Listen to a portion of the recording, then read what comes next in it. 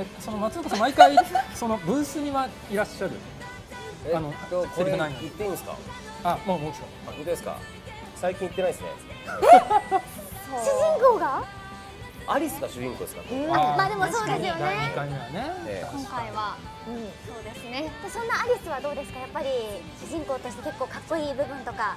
あもうすごいかっこいいです今回アリス。可愛いところもいっぱいあるんですけど結構やっぱ強いのでアリス、戦闘シーンとかは特にやっぱり見逃せないかなって思いますけど、でもやっぱりみんな松岡君がいなくて戸惑うんですよ。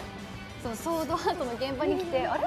主役松岡君だよねって思って みんながちょっとポカンとするっていうのはありますね。確かに。今までなかったですもんね。うん。ずっと松岡君だけはキリトだけはいたけど。